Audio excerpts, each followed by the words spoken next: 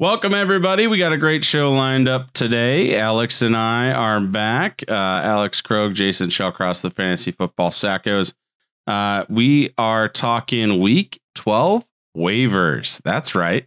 Um, we're going to be going over that Taysom Hill magic, the the J.K. Dobbins He's explosion. great.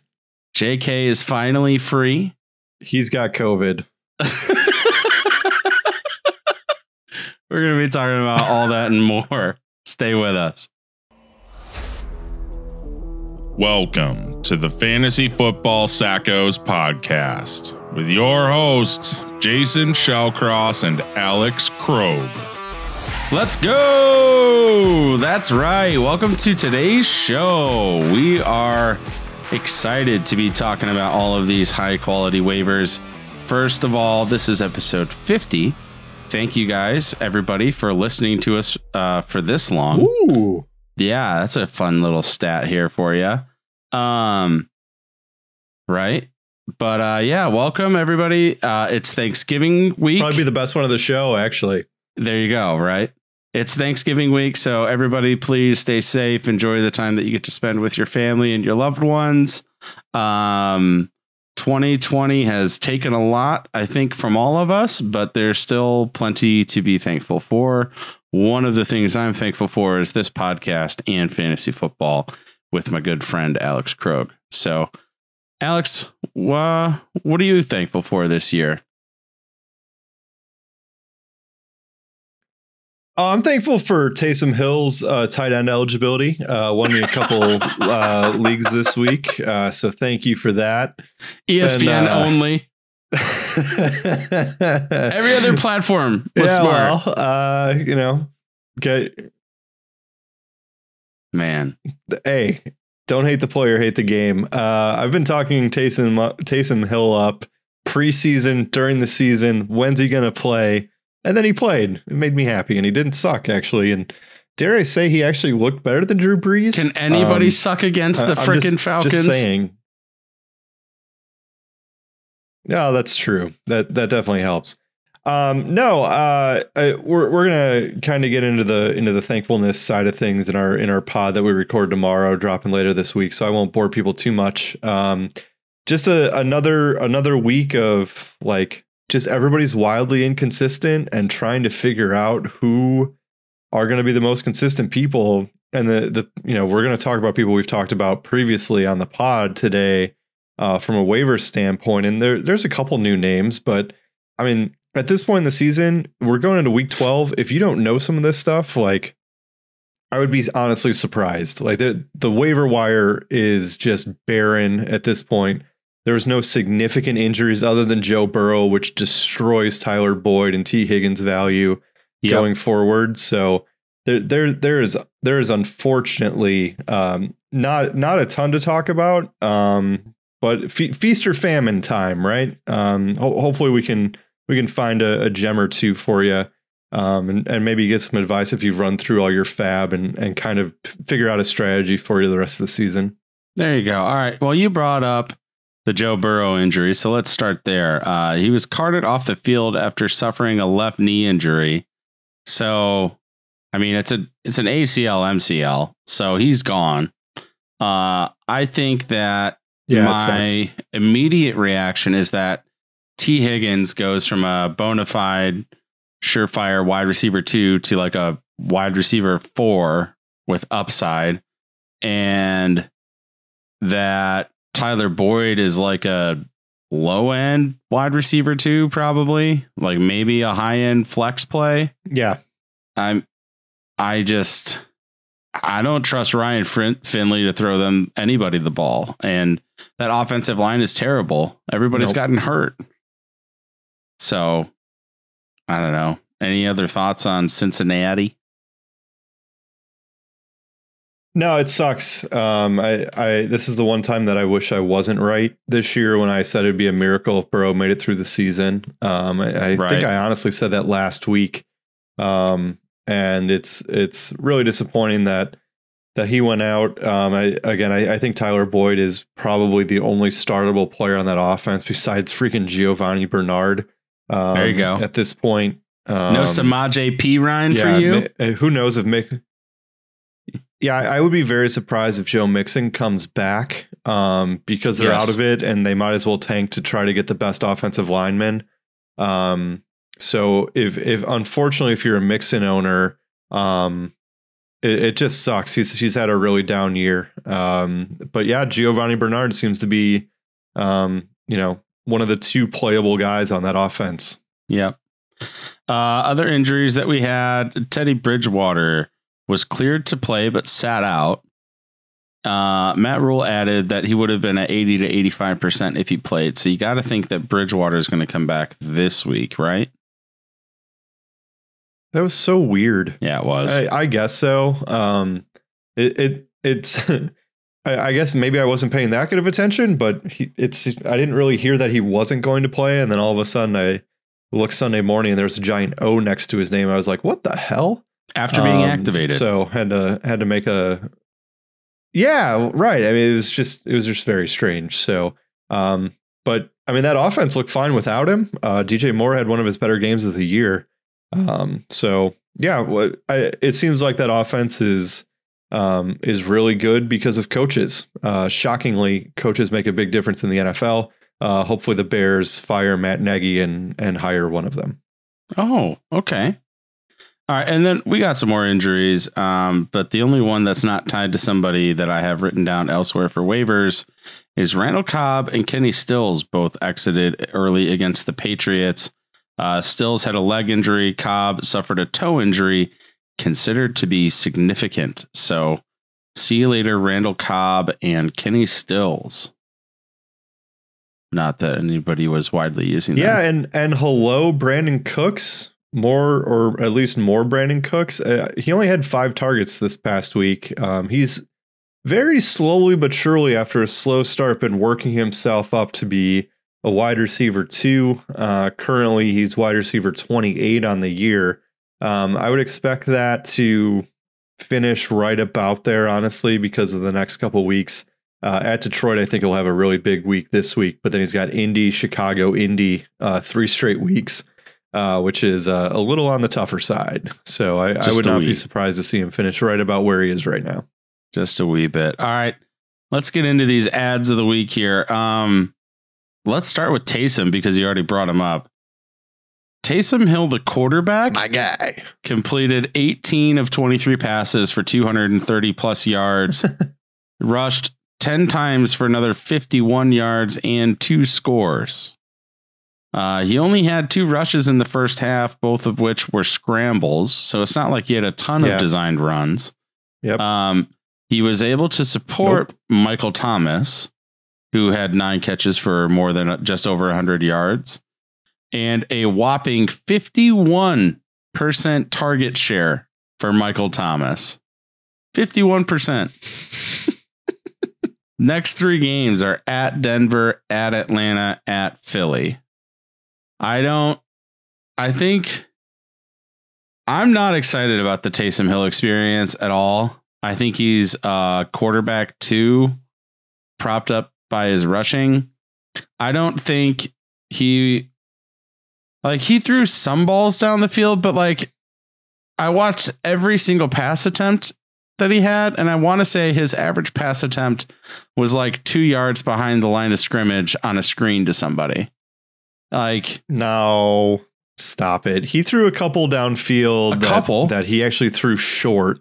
Yeah, Uh, that one. Oh my It- god! one, to what one Sanders? got called back. Yeah, but the he, he also had like bird. a 55 yard touchdown throw to Emmanuel Sanders that got called back to a due to a holding call. Um, so I mean his, numbers actually could have looked better. Um, I mean completing 75% of your passes as a as a quarterback that everybody thought they were just going to run the whole game. I think he I think that's going to be his lowest um rushing yards and this is from somebody that that bet on his over rushing yards of 48 and a half. Thank you so much for cashing that at the end, Taysom Hill. I appreciate you. Um, so I, I, I think the I think the 51 is going to be Yeah. Yeah, the over under was Oh. 48 and a half yards. Uh, he, he had that really they only ran that one design running play where they have like the fullback off to the like in the slot and he motions him in and then it's just like a power to the to the right or left side they only ran that play once um, and that's kind of been his like mo um, like the the two weeks before they had seven carries for 54 yards and eight carries for 45 and then this week 10 for 51 um, it, it almost seemed like they were slowing him down here's why i think he's playable one rushing yards obviously against Denver. I think he's going to rush a lot more. You saw what Denver did to Tua this week. They had him all sorts of confused. Um, so I think that they're going to be running the ball way more than they did this week against Atlanta. And then the following week, week 13, they're against Atlanta again. Like you cannot tell me that you don't want to start Taysom Hill against Atlanta. You have like he's going to be a top 10 quarterback play that week. He just is. Yes, I would want to play him I, against I don't want to Atlanta. But that's out Yeah. of the next three games. Yep. Out of the next three games, that's the only. He's only got to play two more because Drew Brees comes off IR. Okay. Him and his fifteen, what fifteen fractures or twelve fractures or whatever he was dealing with, some crazy l- number of unbelievableness. Yeah, and and still playing. Seventy eight percent, uh, seventy eight percent completion percentage. He had no passing touchdowns, but if he gets a rushing touchdown or two, uh, I mean, honestly, he's he's a better passer than Tim Tebow, and he runs similarly, right? I mean, they they're they're very similar players. Do you think that he is hands down the starter for the Saints next season?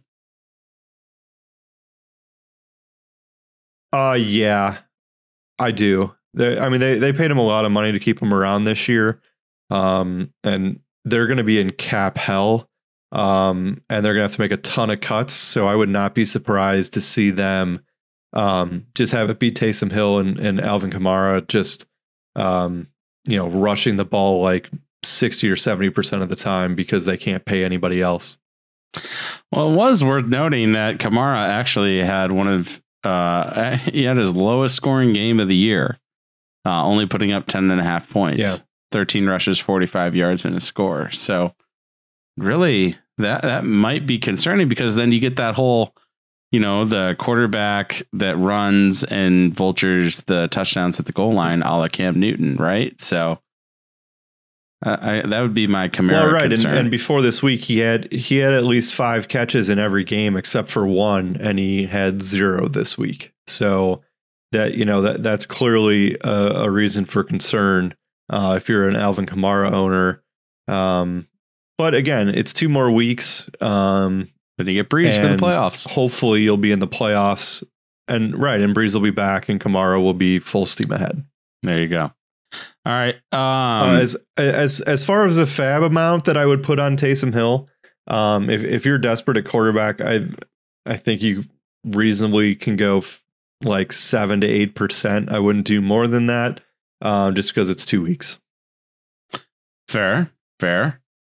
Um, next up, we have uh, another quarterback add, and that is Andy Dalton, rostered in a whopping three and a half percent. Blandy, Blandy Dalton, rostered in a whopping three and a half percent of leagues, uh, completed approximately two thirds of his passes, uh, 68, 69, well, actually 69% of passes for just over 200 yards, three scores, and a pick. Uh, I had a couple rushing attempts for really no yards, but put up almost 20 fantasy points. Nice to see that offense move the ball. That was fun. well well played on the on the words there. Um, I uh, I he, I I really like what Andy Andy Dalton. I I can't almost not say Blandy. Um, I I really like what Andy Dalton did this week. I actually started him in a league. Um, wow, that's that, gutsy. that I really needed to win in. Yeah, well, it's I mean, Minnesota's passing defense sucks unless they play the Bears. So um, here here's why I would not bid on Andy Dalton. Um, the next couple weeks is against Washington. Do you really want to be eating or sitting around on Thanksgiving after digesting all of this turkey and watch Andy Dalton against a really, really good Washington defense? Like that will give you more indigestion than you probably already will have. Um, so I like I, I would not want to start Andy Dalton because I would not want to have to watch him on Thanksgiving. Uh, and then the following week is at Baltimore, which is not a good matchup either. Um, week 14, since he's obviously good, and then he finishes up against San Francisco and Philly. Um, the, the, none of those are really great matchups. Um, he he might like he's got enough weapons. He might be serviceable. I would not bid more than zero dollars. Okay, noted. I think you could probably get him for zero in a lot of leagues. Um, yeah, it was just nice to see that offense move the ball as somebody that rosters Zeke in a couple leagues. That was a welcome return yep. to offensive production.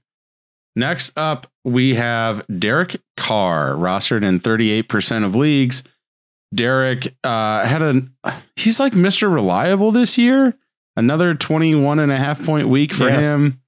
Um, completed almost 75% of his passes for 275 yards, three scores and a pick.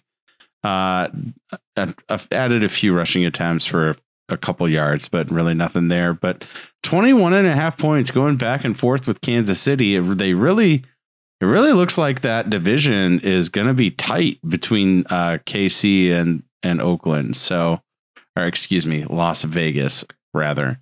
Um, that was a fun game to watch. Yeah, he he actually had 29 this week. He, he was projected for 21 and, and dropped the 29 spot. Three three tutties against like a, a Kansas City defense has actually been pretty good.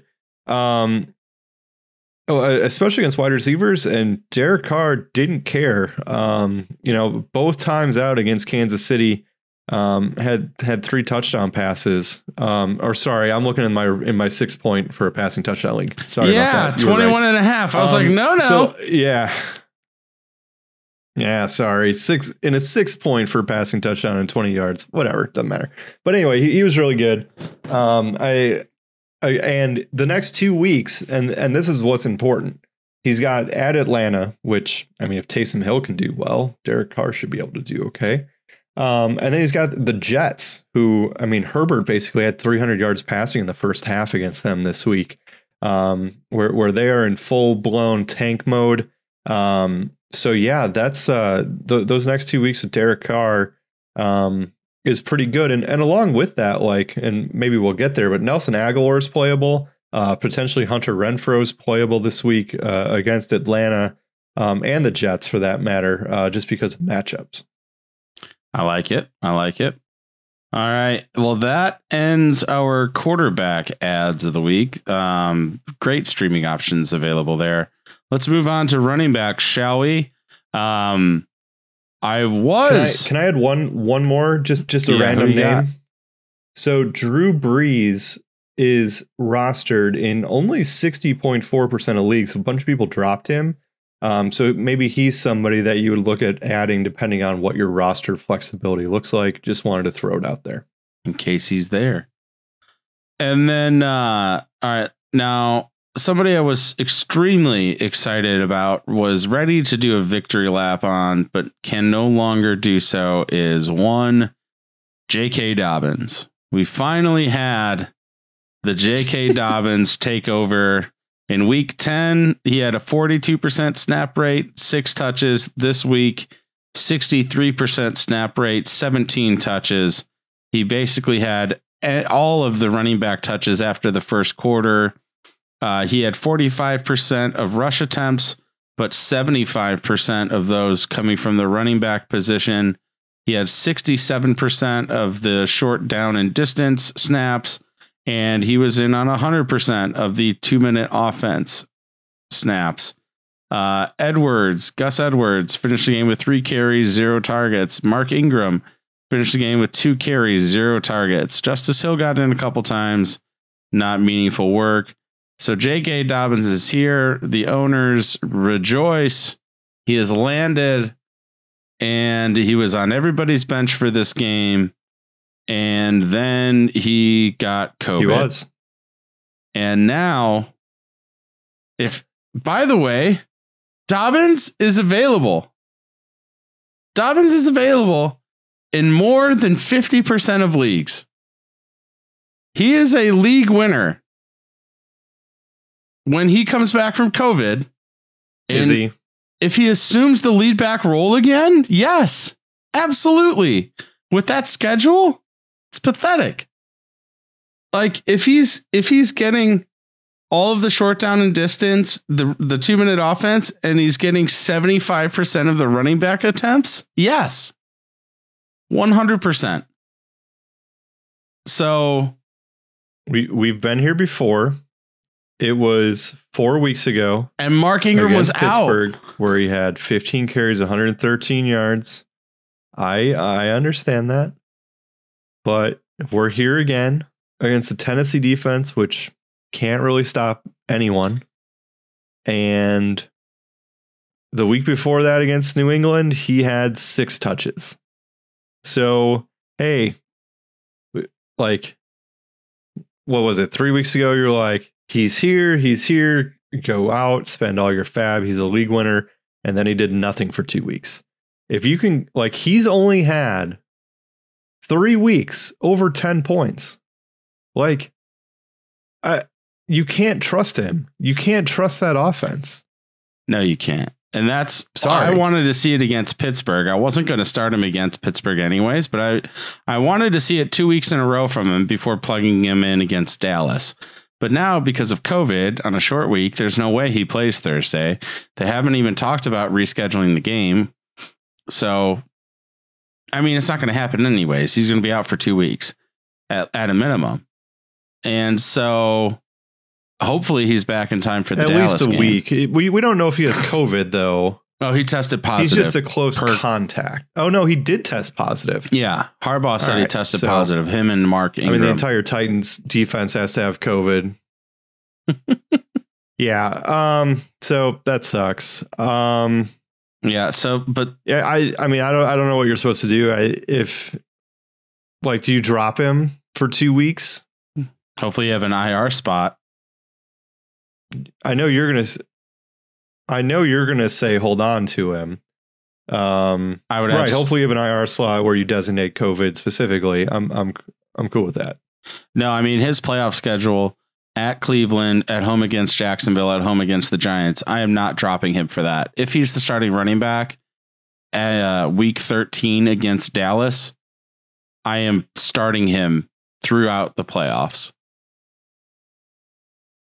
But that's the thing is when he comes back in week 13, Um, assuming he's healthy, he could even be splitting carries because he was out sick, you know? Like it we don't know what the working work back is going to be for these guys. So it just sucks.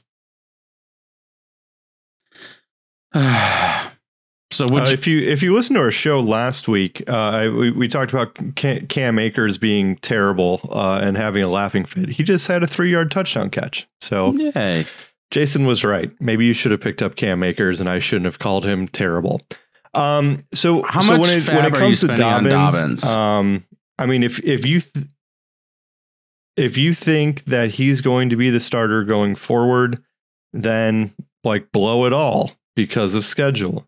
If you don't think Dobbins is going to be the starter going forward, then like five to fifteen percent like is reasonable, especially because people aren't going to bid on him because he's currently listed as being out. I can see it both ways. Um, that's, I mean, honestly, it's it's you go with your gut. What do you believe? If you think Dobbins is going to be the guy, we saw how bad Cam was for those couple weeks after coming back. Um, if he struggles at all, he's not going to play because Ingram and the Gus bus are there. Well, Ingram is confirmed positive with COVID too. So that's why, because of that, because of those two being out, the real priority add is Gus Edwards, which I hate because he Yep. can't catch a football. So there's really limited upside there. I mean, he's going to be. Well, that, that works out perfectly because he has a quarterback that can't throw to him. there you go. You know, equally as yeah, important as in order to catch the ball, you have to have it thrown to you in a place where you could theoretically reach to to catch it. Um so but look for Gus Edwards to take first and second down and Justice Hill to be in on third down and the 2 minute offense and to I don't know. I don't really want to start any of them against Pittsburgh this week. Um Gus will probably have, I would guess, 70 yards, maybe a score. And I don't know. I I would be praying for that if I put Gus Edwards in my lineup. If they aren't healthy enough to come back though, and he has it, he has the gig the rest of the season, then that's an incredible pickup. But who knows? Yeah, I think he's a 5%, 10, 10% guy just to have him for this week and potentially next week. Um, because, you know, I mean, James Robinson did all right against the Steelers this week. Um, and if, if they're going to run the ball as much as they, they have historically against the Steelers, then like I think they ran the ball, what, like 45 times or 50 times against them a couple weeks ago. Um, I, I think there'll be plenty of opportunity for Gus Edwards against the Steelers this week. Also, live on the podcast, because I can't stop playing him, I'm literally going to be dropping Marquise Brown right now because every time I see him in his matchup, I always think like this is the week that Marquise Brown's going to be good. Um, so literally right now, I am dropping him.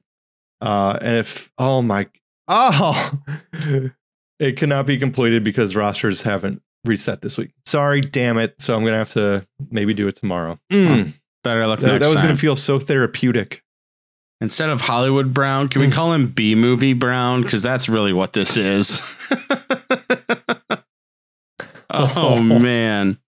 All right. Uh, let's move on, shall we? Wow. Uh, next up, we have James White, and he's really only addable because Rex Burkhead suffered a torn ACL over the weekend.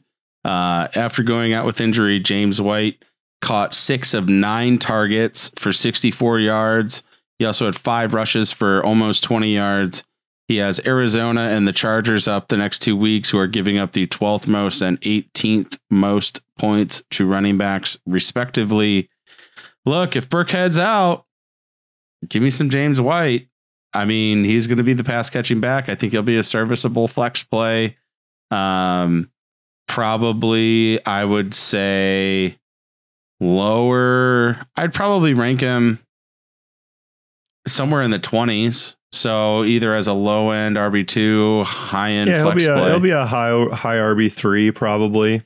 yeah, Yeah. somewhere in there. I um if he if he doesn't you know James White a couple years ago was a RB1 and all of a sudden they're just like not using him. He's better than Rex Burkhead, right? Like I I don't understand how Rex Burkhead was who he was this year. Um so yeah, I, uh, I James White when he plays is always produced. He's always been really good. Uh, in the couple games that that Rex was out, um, he produced with seven catches, eight catches, and now six catches. So yeah, fire up an oldie but goodie in James White.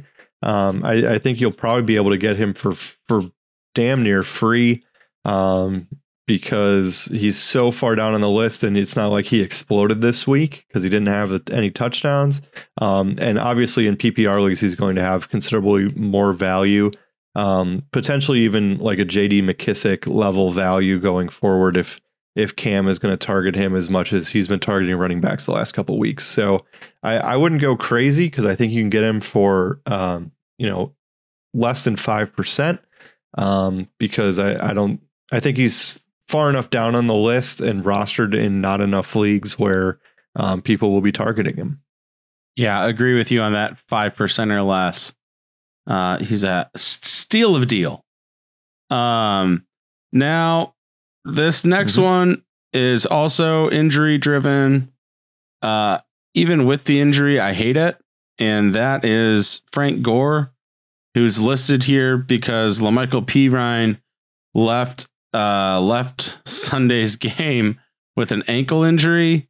Um, so I guess give me some Frank Gore. Uh, he is eternal. he put up 14 points in a half PPR, 15 rush attempts, 61 yards, a touchdown, a couple catches for 10 yards. Look, I don't. He's got the world's largest slice. He has the largest slice of the world's smallest pie, being the New York Jets offense and its Hmm. production compared to any other offense. And if he's gonna if he's gonna be getting 15 to 20 touches, Do you like do you like pie, Jason? I do like pie. I love pie. Do you like pie? I do. So if if you like pie, then why not take the biggest slice of the smallest pie? Because guess what? You get him. You get you basically get the whole pie. You don't even have to share him. He's not sharing. Like Frank Gore somehow, and I talked about this before the season, is going to have over 600 rushing yards. He's right on pace and he's going to be the only guy there probably the rest of the season. Um, he's probably the pickup of the week, other than the Gus Bus. Um, for me, for for short term, uh, you could argue Dobbins longer term. Uh, he's only rostered in 8.8 percent of leagues, and he was RB 12 this week. I don't I don't know what what else you want from him. Miami, Vegas, Seattle, the next three. Those are fine matchups. Um, he's only had under 10 carries twice the entire season. Uh, and I would not expect that to happen again. And especially if he's going to be getting catches, um, I think he's solidly an RB2 the rest of the way. Sorry. Only had under 10 carries twice all season, only gone over 10 points once. And it was last Oh. week when he was the only guy there. I know. And he will be the only guy there. I mean, they got rid of Le'Veon and now La'Mical's injured. So here we go.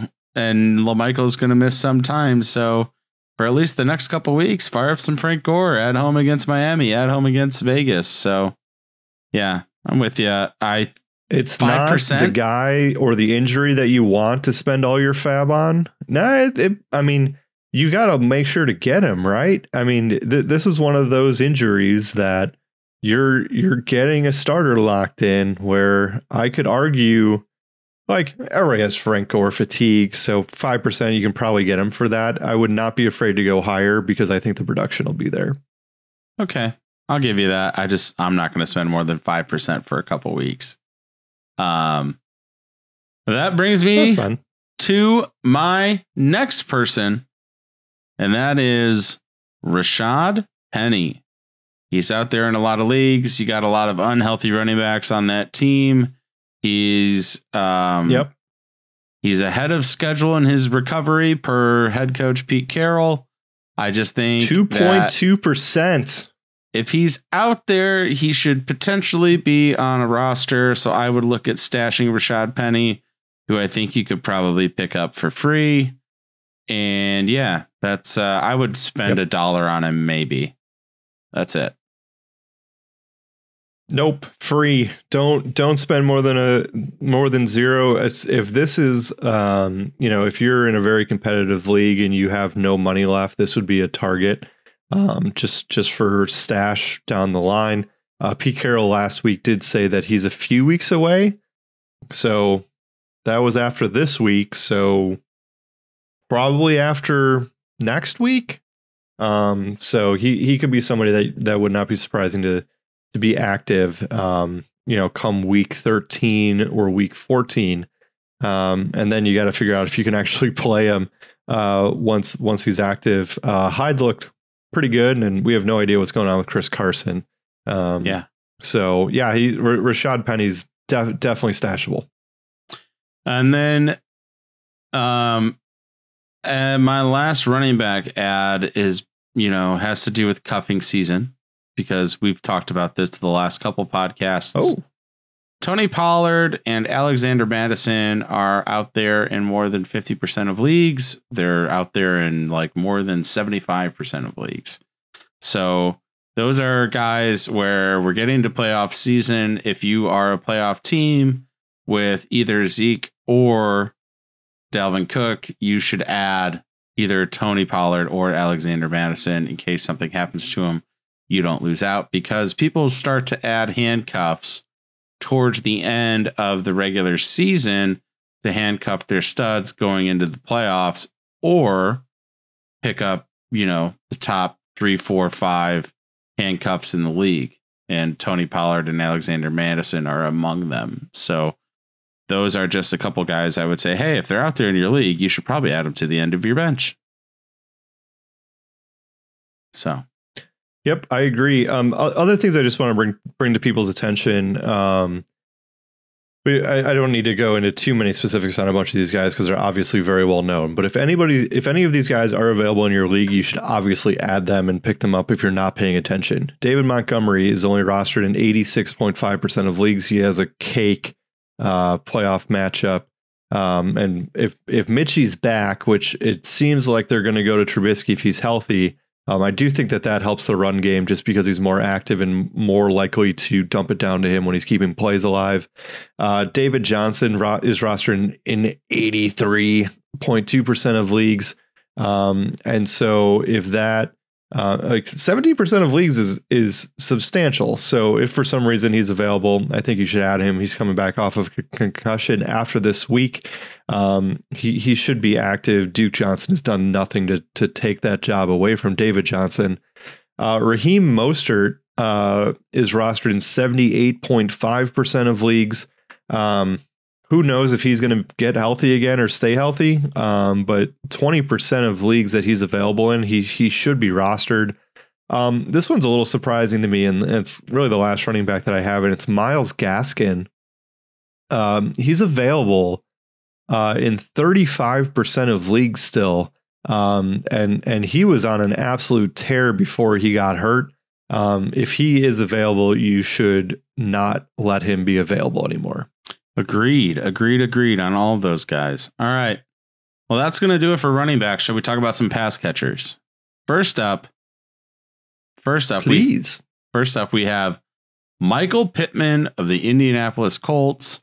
Uh, he's fantastic. He's still only rostered in 25% of leagues, which is criminal.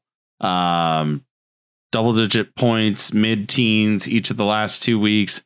Uh, had admittedly had a slump in targets this week, however, against Green Bay, only having three targets, converted all of them into catches for 66 yards total and a touchdown, including one beautiful 45 yard touchdown reception. Basically, it was a like a I don't know 10 15 yard cross that he turned into a 45 yard you know weaving through defenders um, down the field for a score. So yeah, man, Packers does had he no idea what was going on. Right.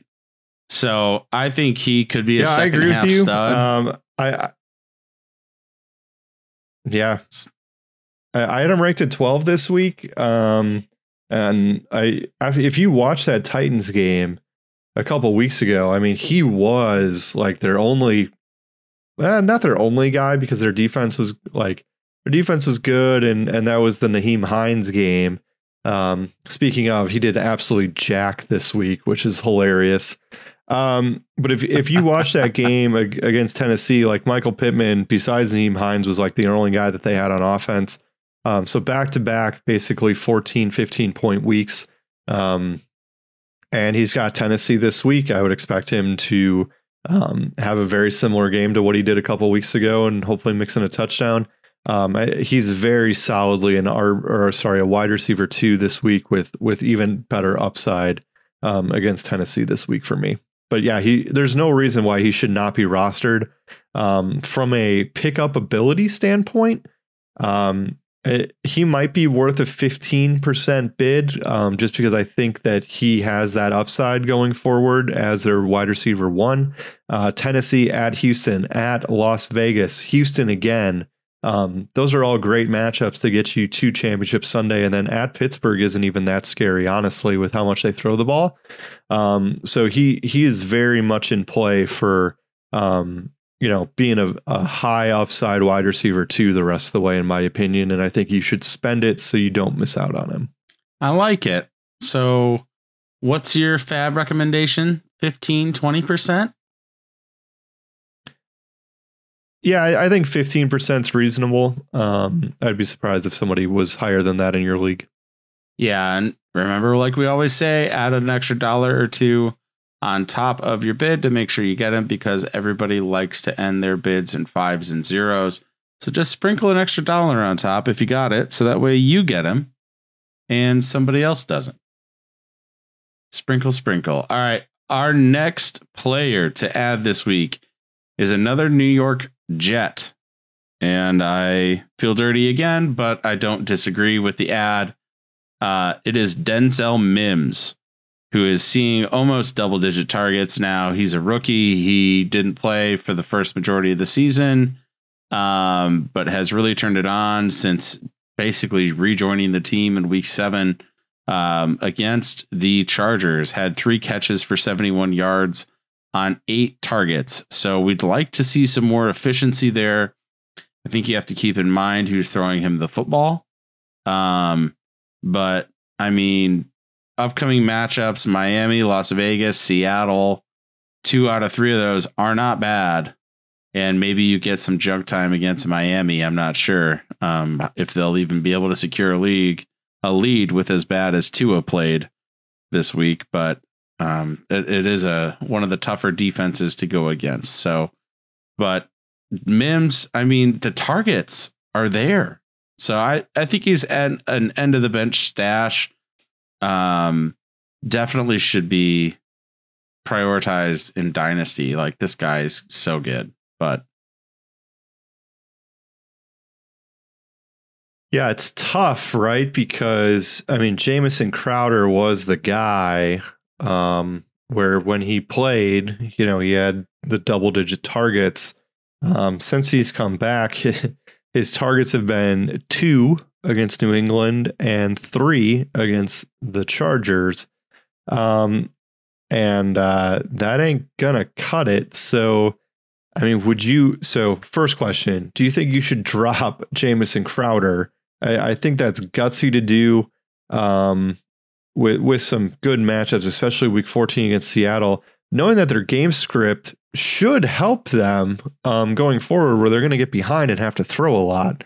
So, and and besides that, like Breshad Perriman um, has been fine. He's had a touchdown. He had two touchdowns two weeks ago, um, and then a touchdown this last week against the Chargers. Um, so I mean, he he's been the best fantasy wide receiver that they've had. So I don't know what to do with their back or with their wide receivers. Honestly, um, I don't think the three Jets should be rostered. Um, and trying to figure out who the person to roster is is tough. Um, and and is it still Jamison Crowder or is it Mims or is it Breshad Perriman? I honestly don't know the answer um, because they've been so middling um, the the last couple weeks and kind of been spreading it out. Okay, I'll give you that. I just thought he was a viable stash. Um, are there any? Yeah, other- absolutely. I, I think he is too. If if he continues to get all those targets that he's getting, um, from a from a potentially available standpoint, um, I, would just throw out a couple names again. Uh, Julian Edelman uh, is rostered in 35.4% of leagues currently. Um, he had a knee procedure a couple weeks ago, and it sounds like he might be coming back before the end of the season. Um, so he's somebody that potentially you could add. Um, just throwing that out there. Um, Brandon Aiyuk is rostered in only 68.1% of leagues. Um, he's really good, especially if Deebo Samuel isn't playing. And speaking of Deebo Samuel, he's only rostered in 52.6% of leagues, um, which is That's incredible. incredibly low. So, it's like I, I think all all of those guys, well, at least the two 49ers receivers should be rostered.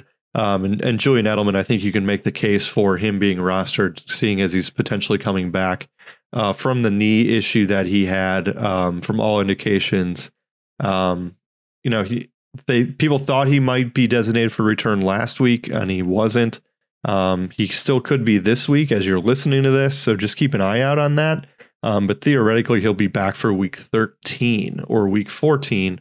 Um, and week 13, he's got the Chargers, which have a very leaky defense. Um, week 14 is against the Rams, which is, you know, I think they're giving up the least amount of points to wide receivers. Um, but 15 16 at Miami, Buffalo, those are fine matchups. So um, Edelman should be rostered. uh, and so should Aiyuk and, and Deebo. All right. And then my last one is going to be Tim Patrick of the Denver Broncos. Tim Patrick uh, had eight targets, converted them into five catches for 119 yards against the Miami Dolphins, um, 14 and a half fantasy points. Last week, he only had six targets on the stat sheet, but he had all six of those targets in the first half of the game before he got thrown out for fighting. So, um, yeah.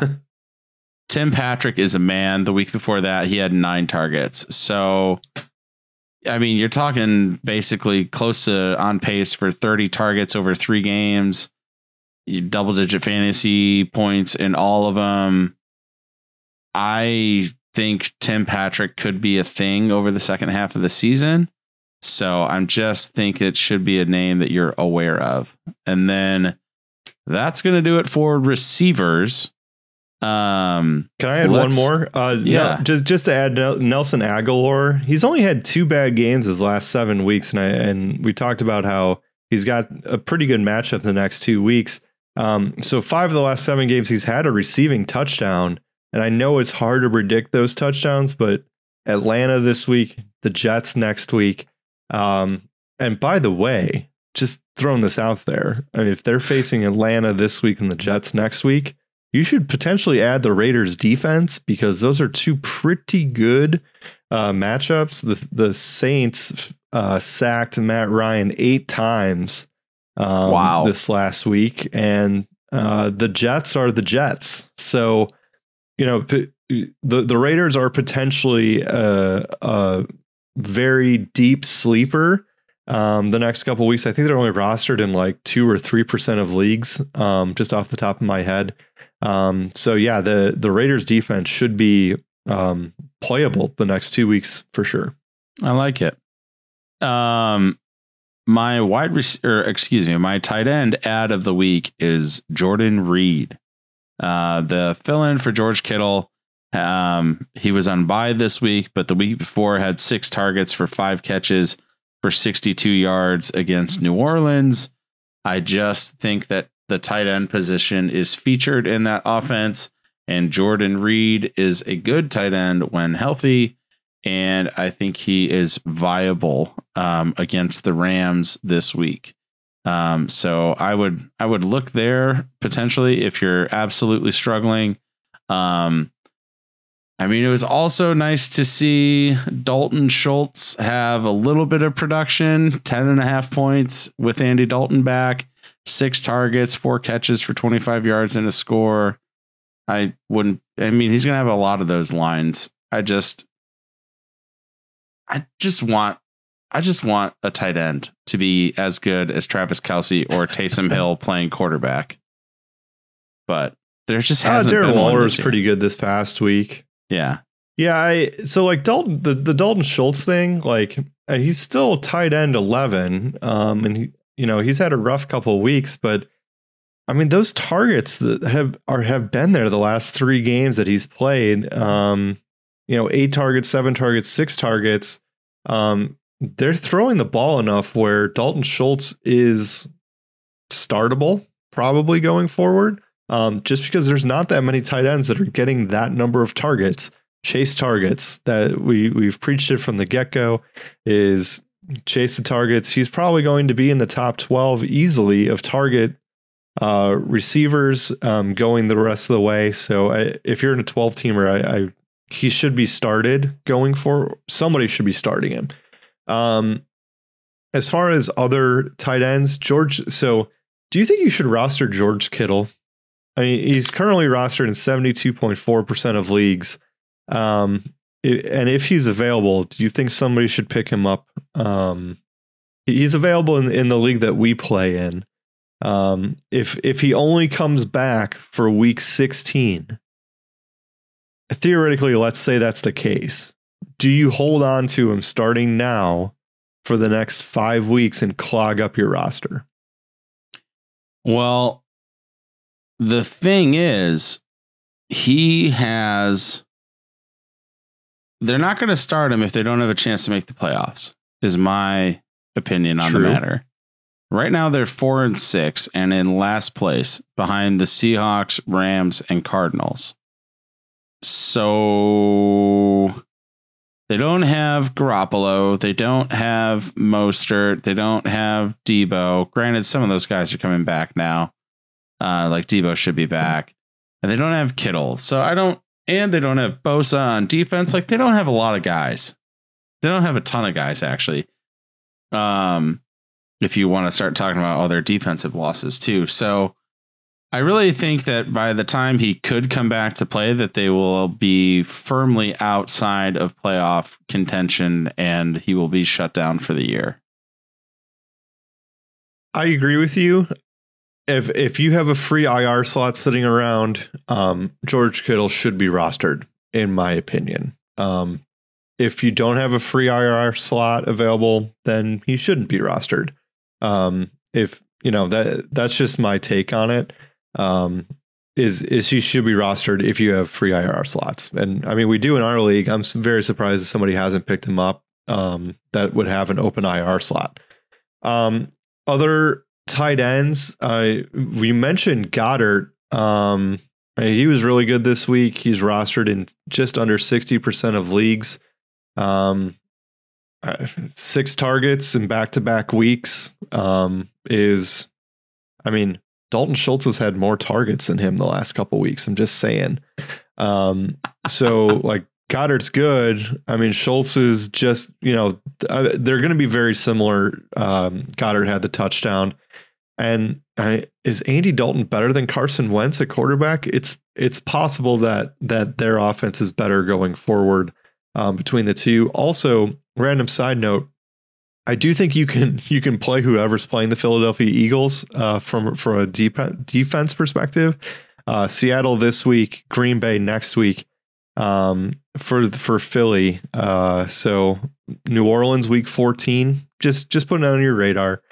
Um, and then Zach Ertz is still rostered in 58% of leagues. Um, he, you know, he was designated to return from IR last week, I believe. Um, so he should be back um, within the next week or two. Um, if you're desperate at tight end, he's another guy that you can add um, that that could have value going forward. All right, and then uh, that's going to get us to defense. And I have one defensive stream of the week I'd like to talk you about. You never talk about defense. I do now. Here we are, week 12, baby. Uh, wow. I want to talk about the New York football giants. They go up against the Cincinnati Bengals this week, who will not have Joe Burrow. They will probably not have Joe Mixon. And so the Bengals were already a good target before as far as defensive matchups go, but the Giants are 11th mm-hmm. at the position. Um, they've been serviceable most weeks in plus matchups, and I really think that they're going to absolutely hammer Ryan Finley or whoever the Bungles put back there. So I think the Giants are a great streamer. Yeah, no, great, great call. That They've had at least two sacks in every game uh, this year, and Cincinnati has one of the worst lines in football that we've talked about previously with Joe Burrow. Um, so yeah, I would not be surprised to see them have at least five this week, honestly, because um, they they really get home with the front four. Um, and if they're going to be that good on defense, that that translates into offense too. So just beware of that because Cincinnati can't stop anybody either. Um, so yeah, I, I love that. Wonderful. Well, that's going to do it for today. We are going to transfer to the social media page. If you found anything entertaining, informative today, please listen, like, subscribe, uh, ring the bell if you're on YouTube. Um, follow us on social media. Twitter's coming up on a thousand followers. We are at the FF Sackos everywhere. We post fire memes. We have fire hot takes. It's great. So thank you guys for listening and coming along. Have a good one. I can't believe we didn't talk about how we were wearing matching shirts. like we we wore matching shirts and it didn't even get brought up. Sad. I just wanted to look cute with you. Sackos. Thank you for listening to another episode of the Fantasy Football Sackos podcast. Follow us on Instagram and Twitter at the FF Sackos.